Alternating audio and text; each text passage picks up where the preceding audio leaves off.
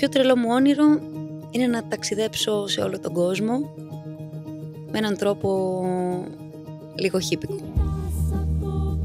Αυτή τη στιγμή μου λείπει λίγο περισσότερος ήλιος, η θάλασσα και η φολέγανδρος. Ευτυχία για μένα είναι να ξυπνάω το πρωί, να έχει πολύ φως το δωμάτιο και να πίνω την πρώτη βουλιά από τον καφέ μου. Netflix.